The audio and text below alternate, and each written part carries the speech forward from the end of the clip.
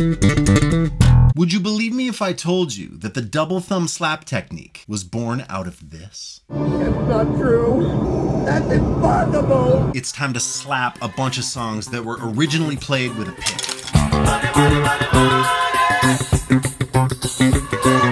80s pop. You could have a 60s pop? I love the colorful clothes you wear.